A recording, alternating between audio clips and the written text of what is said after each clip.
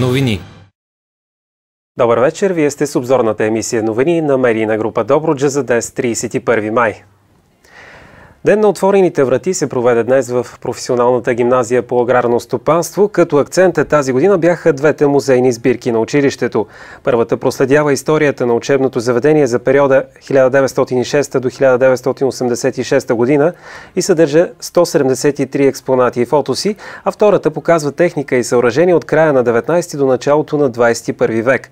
Денят на отворените врати бе уважен от кмета на Добрич Йордан Йорданов, от заместник областния управител Красимир Николов от много агробизнесмени, които са спонсори на учебното заведение. Искаме накратко да запознаем обществото с това, което ние притежаваме, защото то е твърде ценно като съхраняване на традиции.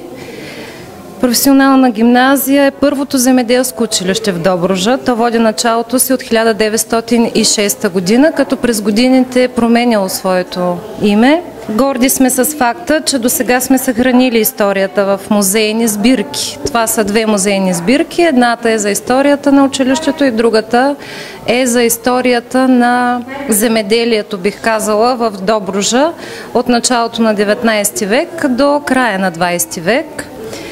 В 1971 година по инициатива на учителския колектив се основават музеите – Идеята е на заместник директора по производствено обучение Тодор Дончев, а събирателната дейност се дължи на Цветан Попов. Събирани са техника, които са извън производството и на техникума и от целия регион, като са включени Тобухински окръг, Варненски окръг и Шуменски окръг в събирането на тази техника. На паркинг бе изложена съвременната техника, дарена през последните години от тези спонсори на учебното заведение. Заради всичко го правим. Първо за нас си го правим, за да можем да покажем на всички земеделски производители, които са дарили средства за закупуването на земеделска техника, да, че ние изказваме нашата благодарност отново към тях и да видят техните средства къде са в момента. Тоест, ето е закупената техника и дарената и така. Очаквате, разбира се, да дойдат и деца, които да попълнят традициите на професионалната гимназия по аграрно стопанство? Канем ги да заповядат в нашата гимназия, да се учат на новия автомобил, на новата техника, да придобиват нови знания, да се усъвършенстват и да се реализират в Добружа, да станат истински земеделски производители. Общинските съветници на Добрич гласуваха увеличение на работното време на председателя на Общинския съвет Иво Пенчев от 4 на 6 часа. По този начин ще се увеличи и месечното му възнаграждение, а с това и възнагражденията на всички съветници. На вчерашното заседание точката бе вкарана извънредно като последна в дневния ред от председателя на Комисията по бюджет и финансията Наса Танасов. С 26 гласа за и само 3 против докладната беше приета. Според закона съветниците получават 40% от заплатата на председателя. До сега те се разписвали срещу 324 лева на месец, а с увеличението трудът им ще възлиза на 484 лева. Първо казваме, че да бъде 90% от възнаграждението, предлагам да бъде 90% от основното месечно възнаграждение на кмета. Обаче по-надолу казваме при 6 часово работно време, при 5-дневна работна седмица. Затова предлагам да стане определя основното месечно възнаграждение на председателя на Общинския съвет да бъде 67,5%, което е точното съотношение при 6 часова заетост през ден. Определя възнаграждението на председателя на Общинския съвет в град Добрич да бъде 90% от възнаграждението на кмета на общината. Приключваме. Точка 2. Както и по себе семя. Себе семя определя какво е възнаграждение. И да, пише брутното възнаграждение.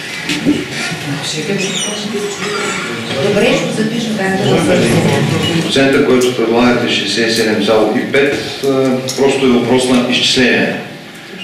И по един начин и по другия начин се получават една и съща сума. Ще да направя същото предложение, за да можем стрикно да спазваме така както са текстовете на Закона за местното самоуправление и местната администрация. Програмата за капиталови разходи на община Добрич за тази година няма предвидени средства за ремонт и възстановяване на спирки.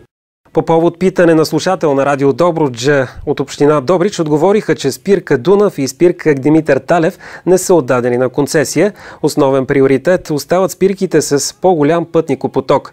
Цитираните спирки ще бъдат включени в списъка които се нуждаят от спешно възстановяване и при осигурени средства ще бъдат възстановени. Община Добрич ще постави указателни табели на 10 спирки, които се нуждаят от обозначения. Конете на Прежевалски Куна и Игор отново имат рожба. Похвали се директорът на Центъра защита на природата и животните в Добрич, Севдарина Венкова. Жеребчето е родено ден преди Велик ден, 15 април, а поради тази причина ще носи името Викинг. Всъщност кръстникът му е тех, техния гледач Красен и ние всички възприехме това име. И както виждате той си е още все едно а, малко бебе, което има, е легнало и прави сутрешната си дрямка след като се е нахранило и майка му, баща му и кака му се грижат много добре за него, не дават много-много да се доближава до него, дори и гледача, пазят го. И сме много щастливи и много радостни. Естествено ще си го гледаме две години може би още, а след това ще видим към кой зоопарк ще поеме, защото става проблем, когато имаме повече мъжки, започват да се конкурират помежду си и има бой, който стига понякога до смърт. И за да нямаме смъртни случаи, трябва да му търсим къща, може би още от следващата година. Имаме други две кончета, които заминаха за къде да припомните. Първите ни, които бяха родени мъжките кончета, това са Калиман и Искър. Калиман е в Ловишкия зоопарк, а Искър е в зоопарка в Констанца. За съжаление обаче те са си все още самотни, не са им намерили жени, не са ги задумили, но надявам се с времето и това да се оправи. Веселин Велев, изпълнителен директор на Веник ЕОД и Нео Пърл България ЕОД е поредния гост в предаването Бизнес портал.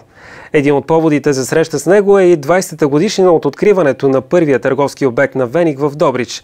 20 години по-късно той споделя своето удовлетворение от постигнатото и благодарност към всички участници в процеса на бизнес развитие. Разбира се, работата променя човек и мен ме е променила. Най-добре това биха казали моите близки, които с, с мен и ме наблюдават, но аз бих казал какво съм научил.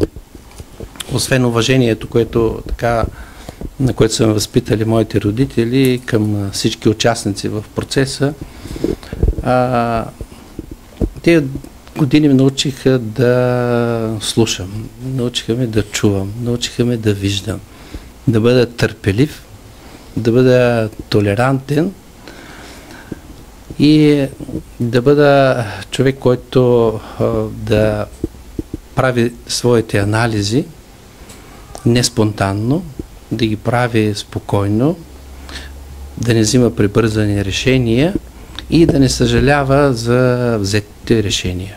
Годишен концерт на ансамбъл Калинка Вълчева се състоя с нощи на стадиона в Тервел. Децата показаха своите танцови умения пред своите близки приятели и обществеността на Тервел. Те представиха танци, върху които са работили през изминалата година.